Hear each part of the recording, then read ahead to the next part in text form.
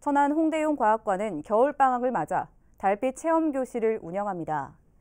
달빛 체험 교실은 상현달이 잘 보이는 다음 달 9일과 10일 오후 6시부터 10시까지 진행됩니다. 하루 30명씩 선착순 모집하며 특별 강연과 천문 공작 교실, 3D 우주 유형, 천왕성과 성운 선단 등을 관측할 수 있습니다.